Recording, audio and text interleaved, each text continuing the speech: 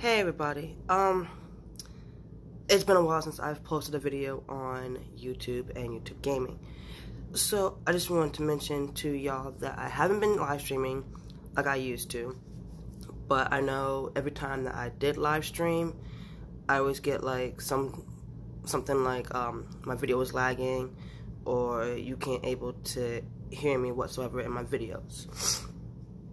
Anyway, so um, with the new rules that YouTube Gaming has been putting out, you must have a thousand subscribers to live stream.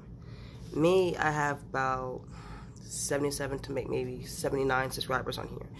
I love you all, but I would like to mention that if y'all could come over to either uh, Mixer and Twitch, I will be live streaming there from now on. Um, every now and again, I will try to post up a few, uh, few videos up on YouTube.